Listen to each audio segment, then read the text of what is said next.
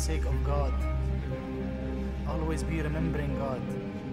Either end your life while praying seconds before the target, or make your last words, There is no God but God. Muhammad is his messenger.